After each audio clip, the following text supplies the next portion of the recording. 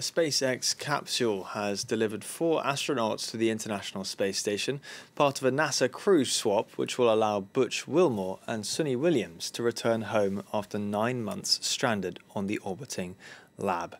It follows delays and aborted attempts to bring them back to Earth, a mission given greater urgency by President Donald Trump since his insistence uh, insistence to, uh, since taking office.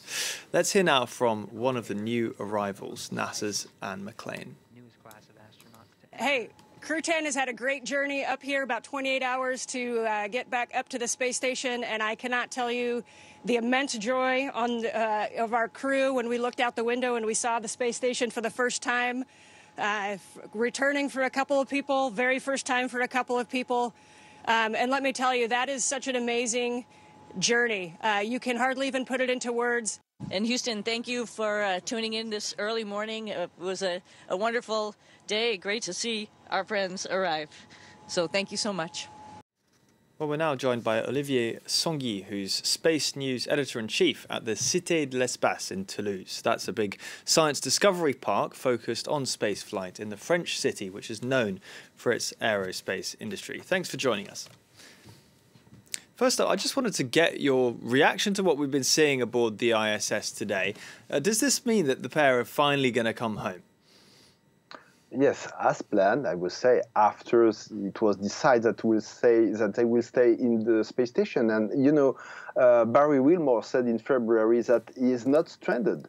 It's just that their mission was extended. And as he said, he, he was with Sunita Williams prepared for that kind of uh, not very well planned thing. You know, it was because their spaceship, the Boeing, uh, the Boeing spaceship, uh, was not deemed enough safe to bring them back. So NASA said, okay, you stay aboard the station, you're part of the next expedition, and you will be back with the next crew handover.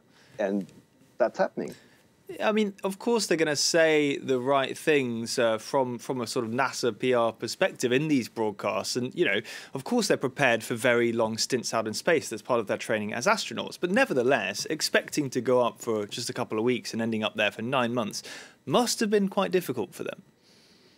Difficult, but it's part of their job, and I don't think it's only NASA PR. You know, they've repeated it, and uh, when you see Sunita Williams she was there for eight days and she became, for the second time, commander of the International Space Station. When you are an astronaut, motivation is very strong. So I don't think it's only NASA peer stuff.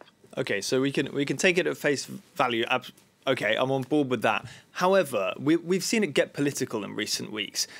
Does this not put the kind of mission in a bit of a bit of a, bit of a difficult spot when you've got the president saying things like they've been abandoned up there deliberately by the previous president? Yes, your true declaration by uh, the president of the United States made this thing political. Uh, we explained that to our visitors. Say, what's going on? Is it a, a, a spacecraft to save them? No, it's just a crew handover. However, again, I will say what Wilmore said uh, during an interview. Say, from my standpoint, politics is not playing into this at all. Okay. And in terms of, I, I think, you know, one, people down here on Earth must be quite curious as to what they've done to fill their time up there. Have there been a kind of enough experiments to be taken care of? What have they been actually doing up there? Oh, there was always a lot of work to do. You know, they have been part of the Expedition 72.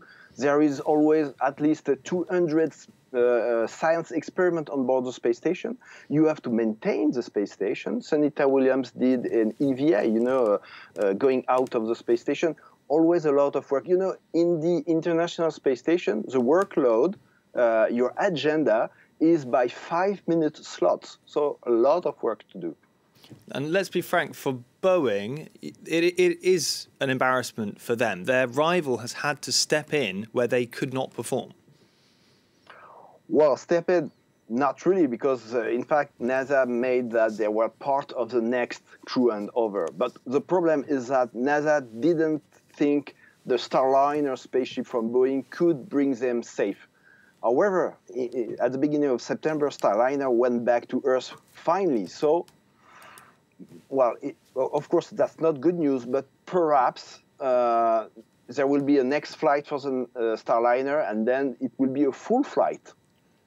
Now, the other big space news this week I want to touch on Elon Musk sending that he'll send a humanoid robot to Mars at the end of next year and could land humans on Mars by 2031. We know that he's prone to making predictions which don't come to pass. Is this the same kind of prediction? Well, you're right. He is making predictions. most of them are happening, but not necessarily in the time frame. I mean, he said he will do uh, rockets uh, reusable rockets, and that's true. Uh, he, is doing a very fine spacecraft. The Crew Dragon is an excellent spaceship. However, going to Mars is a very hard, uh, very hard mission.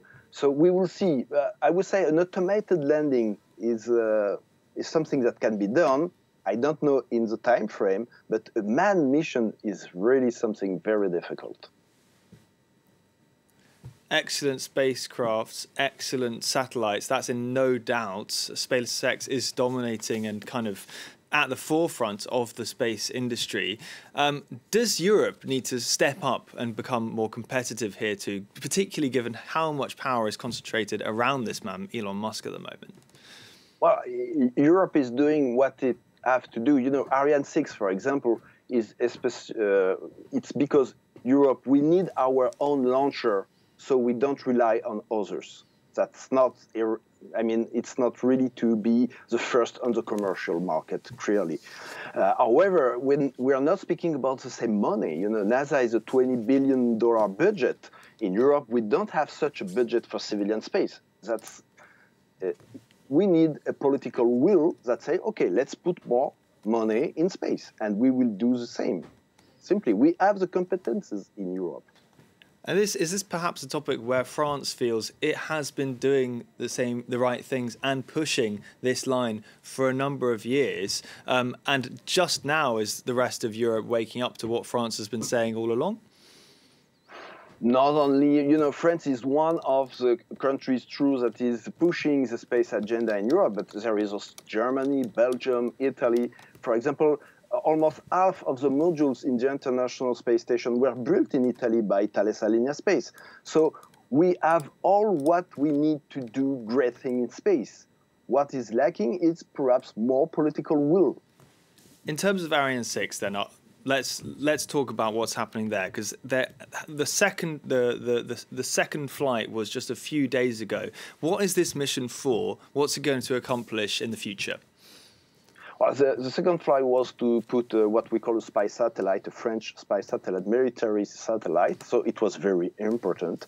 Uh, there are four more missions, and one of these missions is for Amazon. So you know, even Americans are buying Ariane 6 flights, and we can. Uh, so it's very interesting to we see that they trust the Ariane 6 launcher what is more important for the moment in, in Europe with Ariane 6 is not to be the first on the market.